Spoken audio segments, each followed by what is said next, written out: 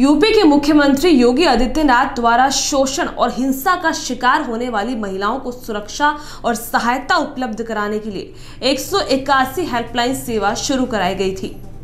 लेकिन कुछ ही दिन बाद ये सेवा कौशाम्बी ज़िले में धड़ाम नज़र आई। ऐसा ही हाल कोशाम्बी ज़िले में स्थापित आशा ज्योति केंद्र का है। इस केंद्र में आए दिन ताला लगा रहता है। एक सौ इक्यासी हेल्पलाइन में लगे सभी कर्मचारी अपने अपने कमरे में रहते हैं।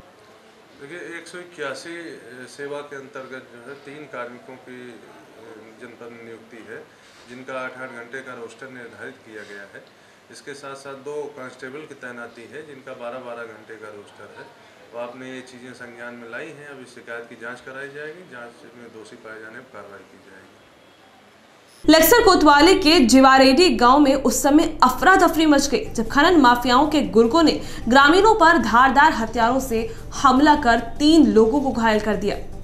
सूचना पर पहुँची पुलिस ने सभी घायलों का मेडिकल कराकर छानबीन शुरू कर दी है। है।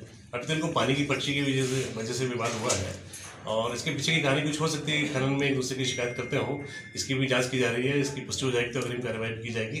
लेकिन अभी मारपीट के मामले में दोनों पक्षों के विरुद्ध मुकदमा क्रॉस पंजीकृत हुआ है और इसमें अग्रिम कार्रवाई की जा रही है।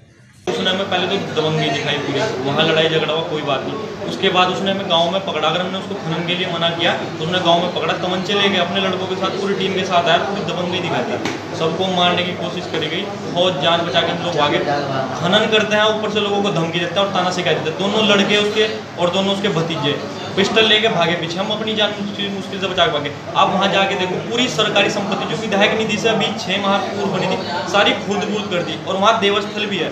लोग वहाँ जाने के लिए अपनी जो है रिपोर्ट दे गए वहाँ कि भाई ये खनन करा है पवन सैनी उसको रोका जाए, उसके बाद भी कोई कार्रवाई नहीं उसको पवन सैनी जो है बहुत ज़्यादा खतरनाक है आदमी, बहुत पूरा काफ़ी बड़े स्तर से खनन करता है। उसने परसों रात जो सी सी निर्माण हुआ छः महीने पूर्व, वो खोद कर क्रसर में बचा दिया उसने। तो उसकी उसमें शिकायत कर दी। उसमें शिकायत की तो ऐसे हम सुल्तानपुर आते तीन आदमी थे हम। तो बीच में उन्होंने रोका, आठ दस आदमी थे। धरदार हथियार से हमला किया और एक का गला घोट दिया बहुत ज़बरदस्त तरीके से। मारपीटा भी बहुत ज़्यादा ये हुआ। तो क्या आपने पुलिस में मुकदमा दर्ज कराया उनके खिलाफ? हाँ अभी मेडिकल हुआ मुकदमा दर्ज कराने के लिए जा रहे हैं। आपके साथ दो अन्य भी थे? हाँ दो अन्य भी।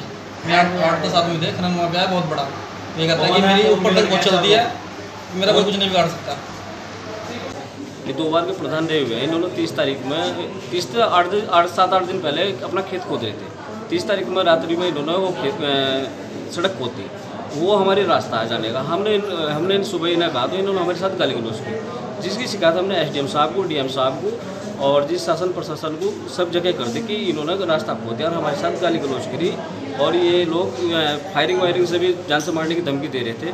आज हमारे बच्चे प्रदीप, मोनू और विशाल गाँव से बाहर आ रहे थे। इन्होंने अपने घर के साथ पास थोड़ी दूर पर इन ज़बरदस्ती मोटरसाइकिल को खींच लिए और मारने का धारदार हथियारों से मारा और एक बच्चे का तो गला घोट कर मारने का प्रयास किया इन्होंने। और ये कह रहे थे कि हम, हमारा शासन प्रशासन कुछ भी कर था, हमारी जगह पैसे दे कर काम कर रहे हैं ऐसा लो तुम्हारी हमारे खिलाफ इतनी हिम्मत होगी कि तुम हमें रोक दो। वो उसी रंजिश में आज हमारे बच्चों को जानलेवा हमला करा और मारने का प्रयास अब भी ऐलानिया धमकी दे रहे बाहर खड़े हुए हैं। कुछ लोग उनके जो खनन माफिया हैं, वो ये कह रहे हैं, कहने लगे, या तो फैसला कर लो, नहीं तो घर तक लाश जाके तुम्हारी भी बस भाई साहब, मुझे इतना ही कहना था। मैं तो ये शासन प्रशासन से ये उम्मीद करता हूँ कि इन कानून माफियाओं के विरुद्ध सख्त सख्त कार्रवाई हो और हमें न्याय मिल सके।